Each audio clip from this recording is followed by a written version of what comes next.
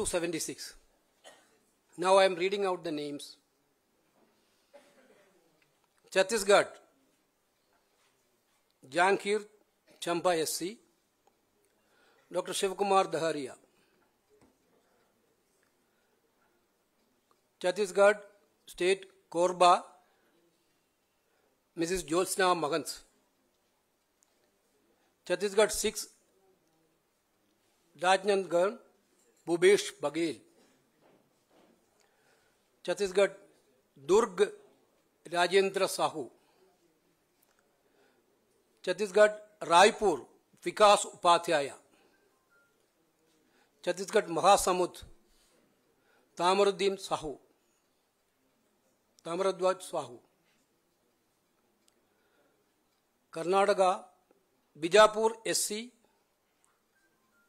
H R Alagur. Karnataka Haveri Anant Swami Gaddevaramath Anant Swami Gaddevaramath Karnataka Tumkur S P Muddahanumegowda Karnataka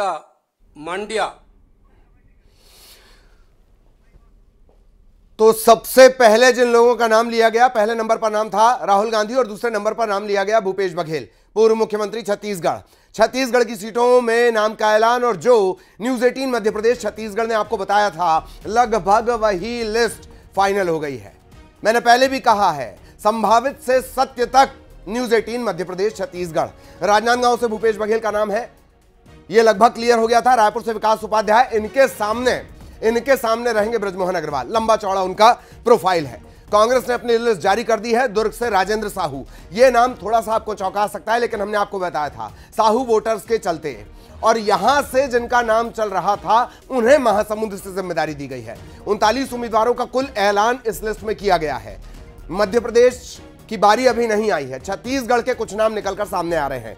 Janjgir Champa से डहरिया, जो पूर्व मंत्री रहे हैं, उन्हें ज़िम्मेदारी दी गई है। राजनांदगांव से भूपेश बघेल, उनके सामने रहेंगे संतोष पांडे, जो सिटिंग एमपी वहाँ से हैं। सामान्य वर्ग से पांडे आते हैं और पिछड़ा वर्ग से